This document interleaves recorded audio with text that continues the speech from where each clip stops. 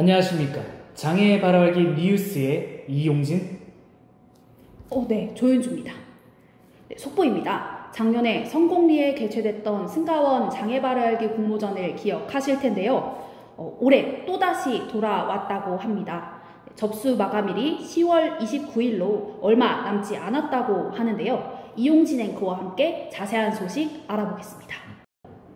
2021 제2회 장애 바라기 공모전이 함께 채우다로 돌아왔습니다. 퍼즐을 맞추는 여러분의 작품으로 함께 행복한 세상을 채우고 싶다는 의미인데요. 작년과 라임을 맞춰봤습니다. 올해는 영상과 포스터 디자인 두 가지 분야를 공모합니다. 특히 이번 공모전은 최대 상금 100만원에 총 상금이 470만원이라는 더 큰 상금 규모로 찾아왔는데요. 벌써부터 참여 신청이 쏟아지고 있다고 합니다. 그 뜨거운 현장을 담당자 인터뷰로 함께 만나보시죠. 네. 네, 장애 바로 알기 공모전은요. 나만의 아이디어가 담긴 짧은 영상 그리고 디자인만 있으면 쉽게 참여가 가능한 공모전입니다. 주제는 장애에 대한 올바른 이해와 인식, 장애 바로 알기 그 자체라고 할 수 있고요.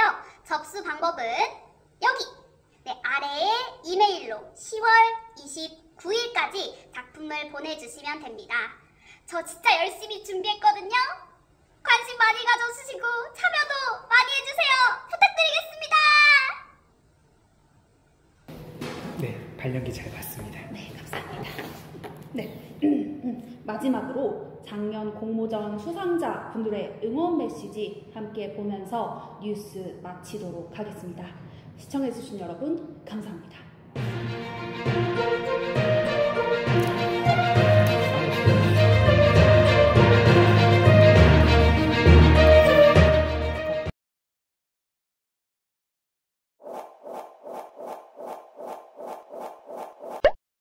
편견 없는 세상. 장애 바로 알기 공모전. 장애 바로 알기 공모전. 장애 바로 알기 공모전. 파이팅!